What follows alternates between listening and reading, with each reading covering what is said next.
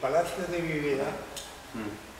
esto, ahí vivía una familia, mm, pues, estos, familia con armas, tenía sus criados y tal.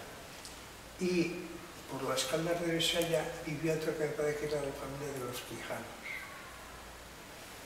Y una vez tuvieron entre esas dos familias, cuenta la historia, ¿eh? cuenta la historia, entre esas dos familias pues tuvieron un problema.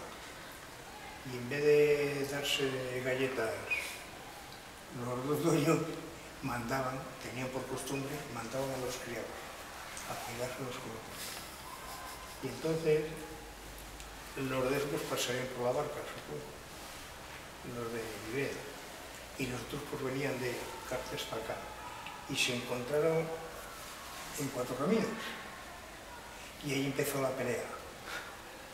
Entonces quebrantaron las leyes, claro. Aquí no se podía hacer.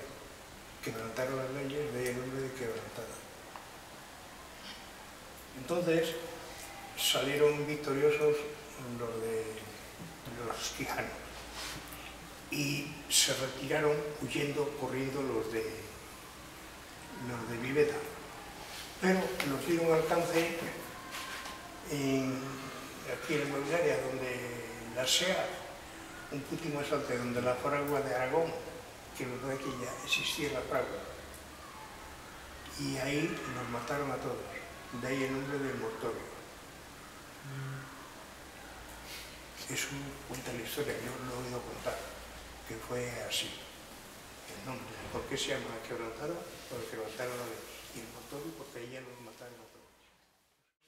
Vega, ¿cuánto tiene, cuánto, que tiene un siglo y cuánto de como ciudad. Y entonces sí no era ciudad todavía. Lo cual quiere decir que igual hace 150 años, voy a saber un poco más. Mm.